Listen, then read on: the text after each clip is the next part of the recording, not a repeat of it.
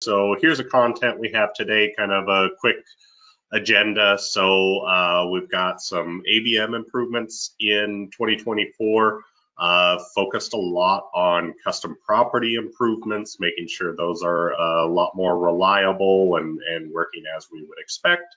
Uh, we have a couple new tools for uh, kind of optimizing your steel delivery and, and planning out uh, how things are going to be erected and delivered to the job sites.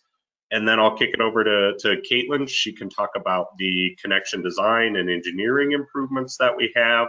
Uh, and then we'll give a little bit of a demo of all of this towards the end. So uh, kick it off with ABM improvements. So, you know, ABM was uh, kind of overhauled uh, uh, several versions back in SDS2.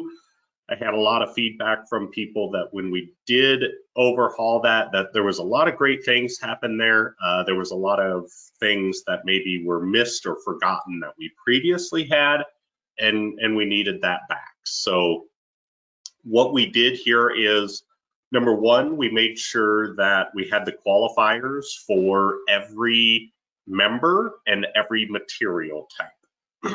so uh, you do see that qualifier screen on the right side here, and uh, some of you may look at that and say, well, I would never add, you know, uh, some of those member types to the ABM, and you're absolutely right. That's great. We took a little bit of approach of just, hey, I'm not going to try to dictate what the users want. Uh, we're just going to give you every option, and it's going to be up to you to pick the correct thing that you. So uh, we don't want to limit you in what you can do here.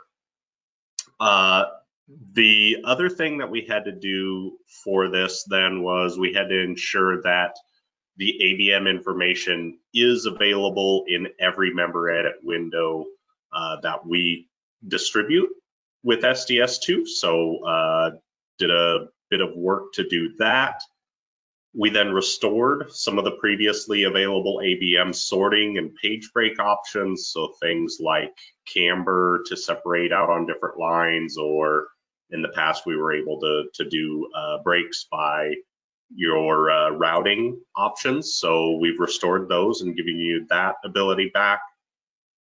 Throughout all of this, we discovered that for those of you who might be developing on the SDS2 API and doing your own, uh, you know, custom materials and such.